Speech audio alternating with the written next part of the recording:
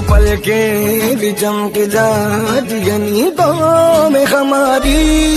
पल के भी चमक जाती यानी गाँव में हमारी।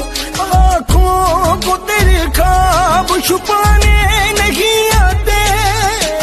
काश तेरे इश्क में नीलाम हो जाऊँ। काश तेरे इश्क